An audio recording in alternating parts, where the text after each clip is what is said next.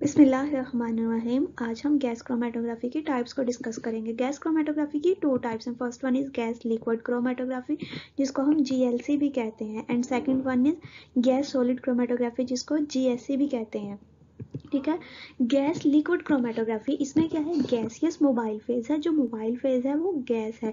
जबकि जो stationery phase है, वो लिक्विड है। अगर हम सेकंड टाइप को देखें, इसमें क्या है? इसमें जो मोबाइल फ़ेज़ वो तो गैस ही है, लेकिन जो स्टेशनरी फ़ेज़ है, वो सॉलिड है। अब इस दोनों में डिफरेंस कहाँ आ गया? स्टेशनरी फ़ेज़ में गैस लिक्विड में लिक्विड स्टेशनरी फ़ेज़ है, जबकि गैस सॉलिड में सॉलिड स्टेशनरी फ़ेज़ है। नेक्स्ट है गैस सॉलिड क्रोमेटोग्राफी को हम इन डिटेल डिस्कस करते हैं।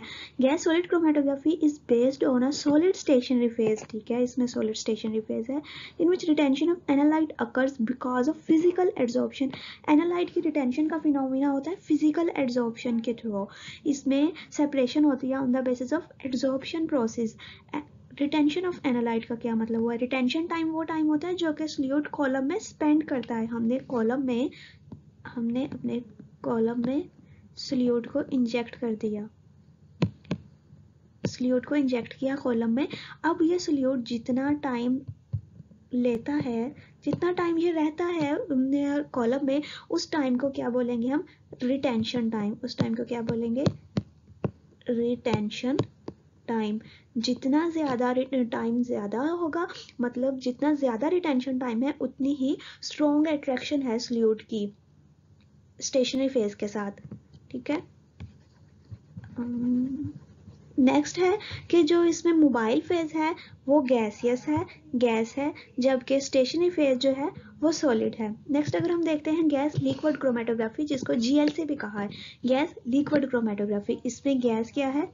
मोबाइल फ़ेज़ हम इसको एम पी लिख लेते हैं। मोबाइल फ़ेज़ लिक्विड क्या था? स्टेशनरी फ़ेज़ इसको एस पी लिख लेते हैं स्टेशनरी फ़ेज़ पी अगर हम सही कर लें ज़रा। लाइक दिस ठीक है? गैस लिक्विड क्रोमेट ये बेस करती है पार्टीशनिंग ऑफ़ एनालाइट एनालाइट की पार्टीशनिंग पार्टीशनिंग होती है gaseous mobile phase and liquid stationary phase अब स्टेशनरी फ़ेज़ तो हमारा लिक्विड है। उसको हम क्या करते हैं? इमोबलाइज कर देते हैं। Immobilize on the surface of inert solid एक किसी इनर्ट सॉलिड सर्फेस के ऊपर स्टेशनरी फ़ेज़ लिक्विड को इमोबलाइज किया या फिर वॉल्स ऑफ़ कैपिलरीज के साथ हम उसको इमोबलाइज कर देते हैं। ठीक है? अब जी एस सी जो थे गैस सॉलिड क्रोमेटोग्राफी इसमें क्या था? सेपरेशन बेस कर रही है फ़िज़िकल एड्जॉर्प्शन पे, जबकि जीएलसी गैस लिक्विड में पार्टीशनिंग हो रही है। पार्टीशनिंग क्या था कि एनालाइट जब हमारा दो लिक्विड्स के दरमियान डिस्ट्रीब्यूट हो जाता है एनालाइट जो कि कंपाउंड हमने जिसकी सेपरेशन करनी है, वो ड्यूरिंग सेपरेशन प्रोसेस दो लिक्विड के दरमियान मोबाइल फ़ेज़ गैस है और स्टेशनरी फ़ेज़ हमारे पास जो कि लिक्विड है, दो लिक्विड्स के दरमियान खुद को डिस्ट्रीब्यूट कर लेता है on the basis of difference in partition coefficient that is partitioning इसको पार्टीशनिंग क्रोमेटोग्राफी भी कहते हैं। ठीक है? सेकंड है सॉरी थर्ड डिफरेंस है gas solid chromatography limited application इसकी गैस सॉलिड क्रोमेटोग्राफी की लिमिटेड एप्लीकेशन हैं। ये ऐसा जितने यूज़ नहीं होते गैस सॉलिड मॉडर्नली अब गैस लिक्विड क्रोमेटोग्राफी यूज़ होती है। Gas solid limited application because of semi permanent retention of active और polar molecules and severe tailing of elution peaks इसमें क्या होता है? हमारे पास सेमी परमानेंट रिटेंशन होती है रिटेंशन प्रॉपरली नहीं होती।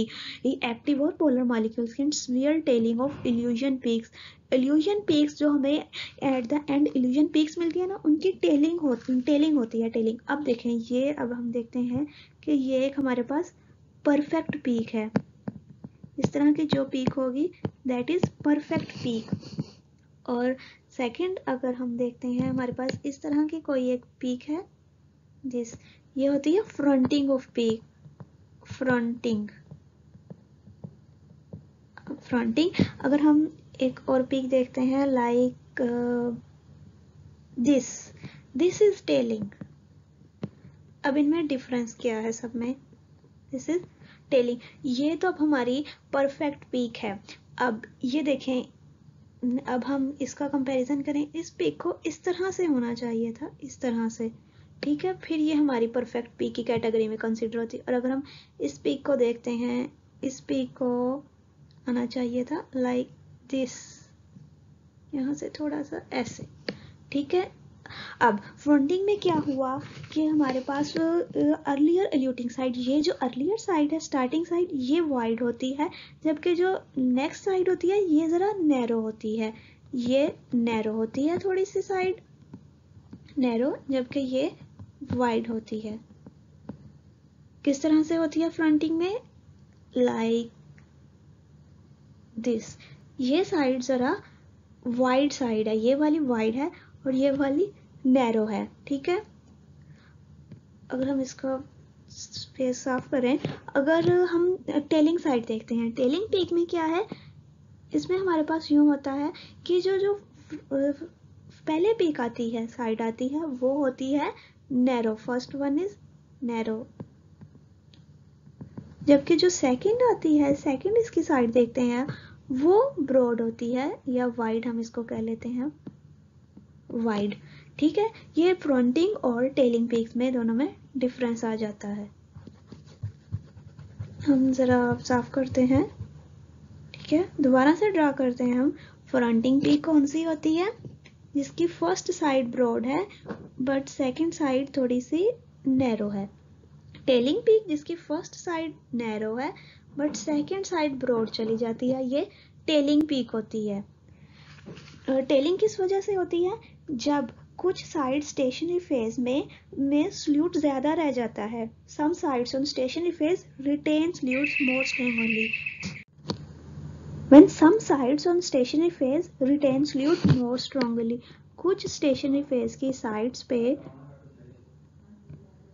स्टेशनरी फ़ेज़ जो होता है, वो स्ट्रोंगली रिटेन करता है।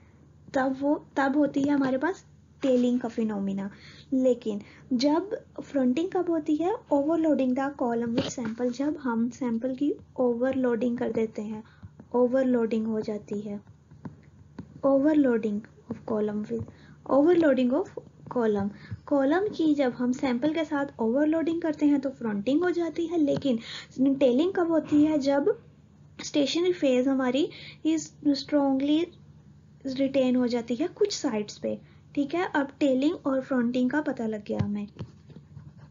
ठीक है, अब हम देख रहे थे कि गैस सॉलिड क्रोमेटोग्राफी जो है, इसकी लिमिटेड एप्लीकेशन है। क्यों लिमिटेड एप्लीकेशन है?